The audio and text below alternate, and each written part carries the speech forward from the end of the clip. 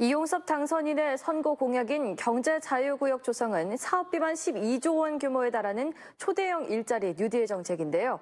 새 지방정부가 업무 구상에 돌입한 광주혁신이가 어떤 일글, 밑그림을 공개할지 관심이 높아지고 있습니다. 김재현 기자의 보도입니다.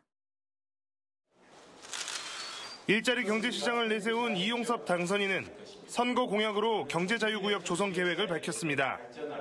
자동차 산업 특화 지역인 빛그린 산단과 에너지 신산업 중심의 도시 첨단 산단, 랜드마크로 조성될 광주역과 스마트 시티가 들어설 광주공항을 경제 자유구역으로 묶겠다는 구상입니다. 예상 사업비만 12조 원 규모에 달하는 초대형 일자리 뉴딜 정책입니다.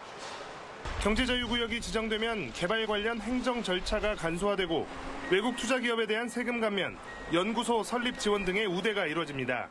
기업들이 강주를 떠나지 않도록 우리 강주 공동체가 기업하기 좋고 사업하기 좋은 환경을 만들어줘야 합니다. 하지만 불투명한 실현 가능성과 불필요성에 대한 지적이 나오고 있습니다. 에너지밸리와 빅그린 산단 등을 중심으로 일자리 정책이 추진되고 있는 상황에서 특혜 시비가 일 수도 있다는 주장입니다.